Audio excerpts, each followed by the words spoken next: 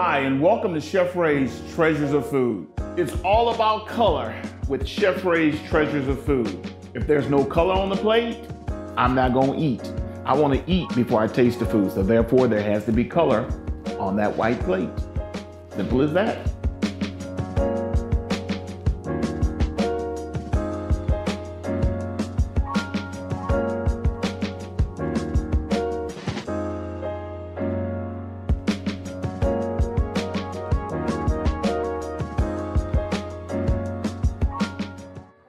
Today, I am with my cousins from Canada. They actually found me back in 2000, Joni and Joe, 2009.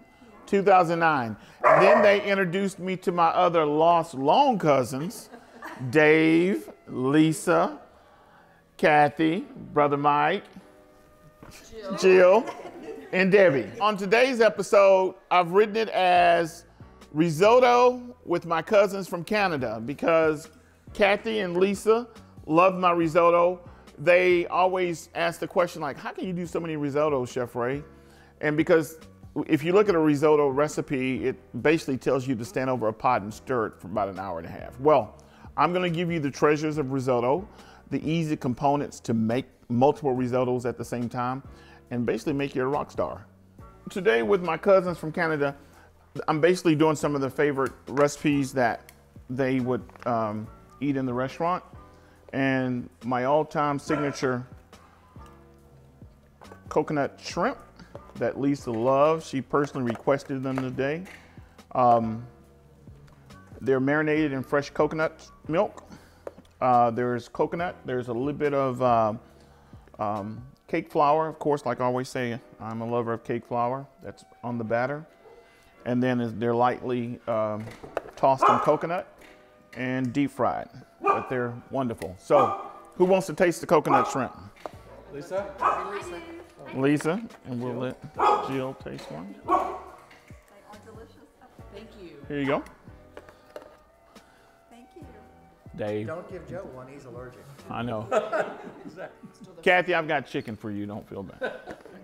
If it's not fat fried, 40 weight gravy, and the, the best of all, he's got to have his catfish and his chicken wings.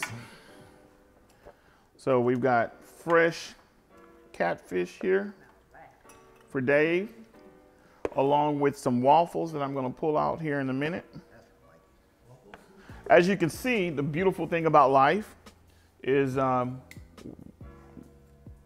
Joe and Joni talked about meeting me back in 2009 and what we're 2021, so that's what, 11 years? 11 years? So 12 years. So that's, I'm glad my cousins found me. All right, Dave. There's your chicken. I, am gonna tell you the joke that we have I have running with Dave, right? He was like, Chef, you don't just know how to cook for five people. And uh, so I was telling Kathy, er, well, was it Kathy? Yeah, Kathy. I said, Kathy, and I told Dave this as well. I, I said, you know, you notice I used to bring 10 different cakes, whole cakes. So I decided that I would do them in petit four styles. So Kathy and I started laughing, and I said, I've got the, um, the portion size down now. Now I've got to get the quantity size down. As you can see, we're all still a, one step at a time. We also have uh, that we're, we're, celebrating other just this uh, family and friendship. Um, two, three birthdays. We have January the 30th, February 1st, 11th, January, and January the 11th. Four. Oh, Oh, really? four birthdays. Wow. Wow. Okay. Happy birthday. So, Everybody's 29, right? Kathy, a year ago, post pre-COVID, I had my book signing, which was, as you can see, they have all of them. They're proud supporters of their cousin, Chef Rey. Um, but uh, last year I had uh, my um, pre-COVID book signing, 15 years and 12 minutes. And when I made the call to them to, to make sure they were going to be in town, now to tell you, I called them first to make sure they were going to be in town before I even selected the date. That tells you how important the cousins from Canada are. And Lisa told me, she says, Well, you know, that's Kathy's birthday. I said, Well, tell her to come. I'll have some good food. And then, what's her favorite cake? And then Lisa, she's the leader if you hadn't figured that out yet. Uh, she said German chocolate cake. So I said, well, the fact that she's going to spend the evening with me on her birthday, I'll do a German chocolate cake. So again, you got your German chocolate cake. But this year is actually my new pound cake that I've developed that's German chocolate. So you'll have to tell me what you think. The other one was fabulous. Thank you. Now, uh, I'm sure you've heard the dogs, as you can hear now. Uh, my dear friend, I guess they heard me talking to them. Lisa and Dave and Debbie are involved with Rescue Pet Movement. And I'm going to turn the mic over to Lisa for a moment and tell you guys a little bit about uh, the pet rescue and all the work that they do um, and how proud I am that they're pet rescue. Well, thanks, Chef Rey. It's always a great opportunity to talk about my passion, which is animal rescue. And we've been fortunate to work with Rescued Pets Movement um, since 2013, basically when they came into existence. Um, the real critical thing about Houston is, if you don't know, is we have a very, very large homeless pet population, uh, somewhere in the neighborhood of probably a million to 1.2 million pets um, are homeless in the Houston area.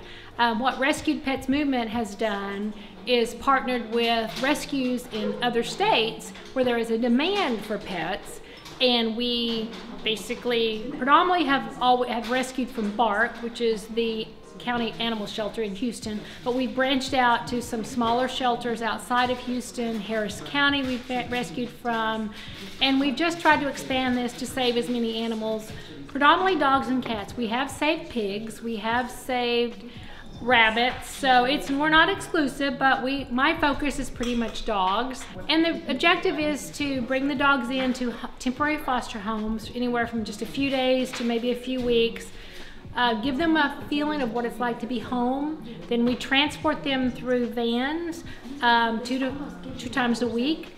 They go to Colorado, Illinois, Virginia, California. We've had dogs in Canada now. Um, it's a great experience. It's a great feeling because you know you're saving lives. You are literally saving lives. So, as you will hear and have heard, many, many, many dogs in my house. We have six personal rescues. Um, we currently have a foster right now. Her name is Cheyenne. She's headed to Colorado on Tuesday. We are grateful for the opportunity. Interestingly enough, and it kind of ties back into Chef with his time at the Rockets when the owner was Leslie Alexander. Leslie Alexander is a generous supporter and sponsor of, of animal rescues and many rescues. Leslie actually funded the building that Rescued Pets Movement is in today. It is named after his father, Jack C. Alexander. And so I feel like that's part of the come full circle is the fact that as we've known Chef over the years, we've had more connections than just his obviously food, friendship, fellowship, and family. We've also had a rescue connection. So rescuedpetsmovement.org, always looking for fosters, always looking for funds, always looking for ideas for how to make the streets of Houston free of homeless pets. Dogs, cats, we appreciate support, we appreciate people just spreading the word and sharing knowledge about what is possible, which is really around spay and neutering of your pets. So we love Chef we love our pets. I think most everybody loves pets. I think food, family, friends, um, dogs, cats, you name it. It's a great combination. Whenever I get with my Canadian cousins, it's always a blast. But most important, uh, as one of my um, wait staff in the restaurant, when they would come to the restaurant, she would say, "Oh, they have expensive wine. That's right. and uh, it's the good stuff. But uh, I'm I, I love wine, but they're actually not just lovers of wine, but they're educators of wine. So Lisa uh, has been has given me the honor to actually be able to go into a cellar today, and she's going to talk a couple minutes about wines. But this is one of my greatest and funnest wine societies that I've, I've worked for over the years. So, cousins from Canada, cheers. Cheers. Cheers! Welcome to the cellar. We, as Jeff said, we love our wine. We love sharing our wine. We love obviously drinking wine. This wine represents a lot of friendships, friendships we've made throughout the United States. We've been to Chile, we've been to Italy, we've been to France. But if you look around this room, it's a lot of bottles, but it's not a lot of bottles. It's a lot of memories. It's a lot of sharing. It's a lot of family. It's a lot of friends. It's just who we are and hopefully someday you'll be able to enjoy whether it's wine whether it's rescue whether it's just being with each other especially in these times. Pick out a bottle. Enjoy it. Share it with your friends. Share it with your family. But always be together. Be as one. And make it a great day. Cheers Memories that you have. Oh, we went to Hall. That was such a great experience. Do you remember when? Right. You know, so you know when you pull the bottles out, that is really when you start reminiscing and creating that memory. Dave told me when I drove up, he said, Look, Chef, we love you, but do not put me on film. But I had to put him on film because, as you can see, this stool that's holding about 270 pounds of my big lard behind, um, Dave actually makes these. And we were talking the wine, we were talking wine, and um, basically, Dave, tell me, tell us how you do this. Uh, it's just a wine box. It's the wine box that their wine comes in that they have shipped.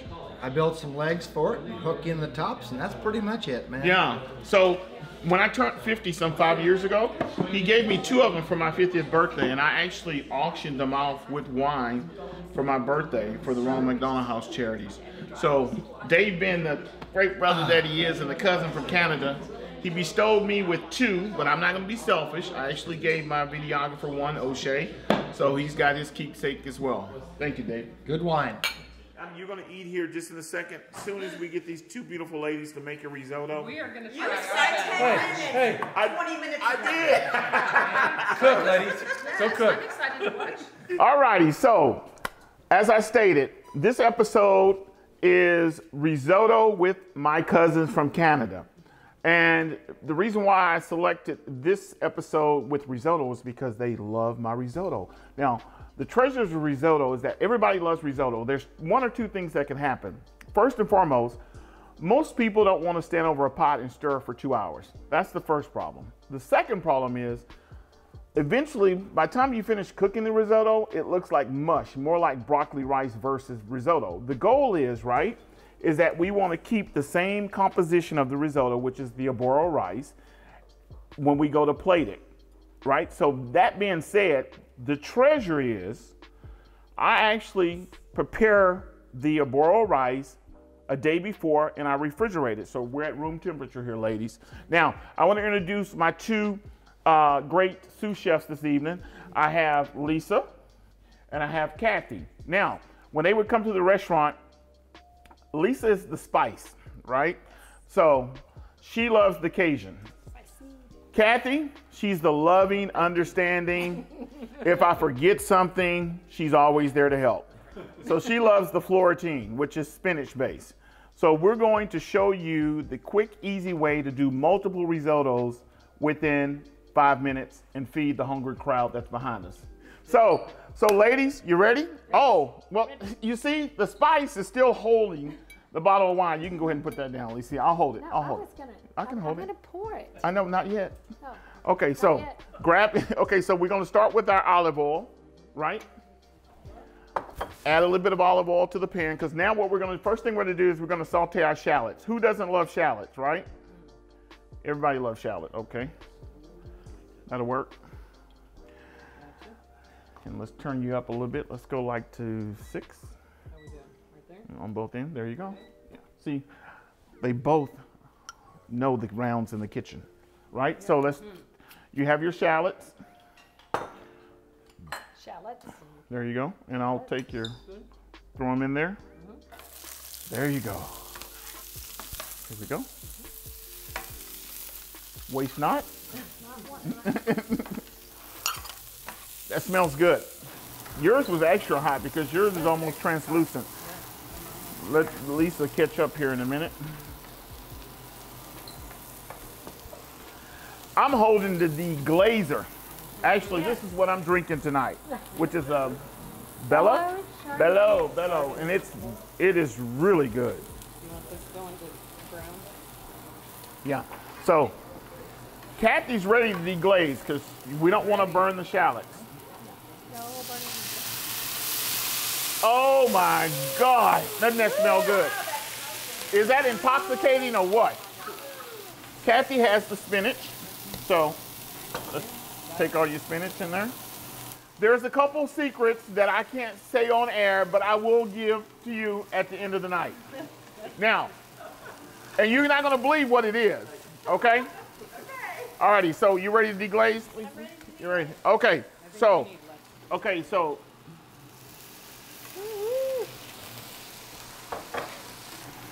We're gonna take, okay, so the, she's got Cajun risotto. This is tomato paste, tomato sauce, there's bell peppers, onions, garlic, shallots, there's some parsley in there, and cayenne, alrighty?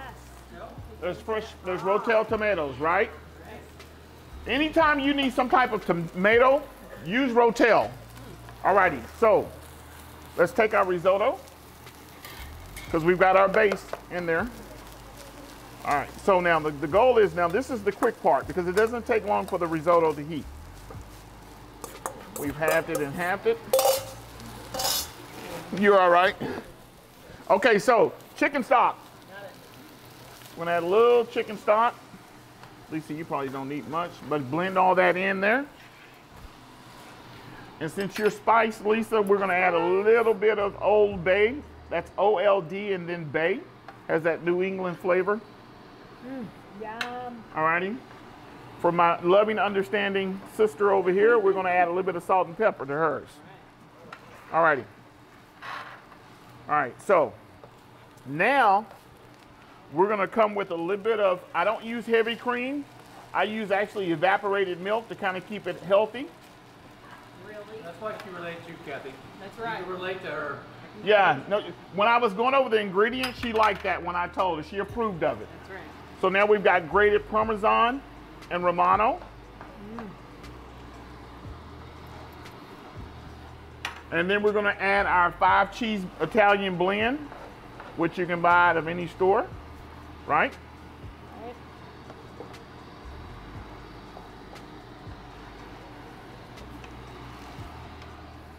And guess what?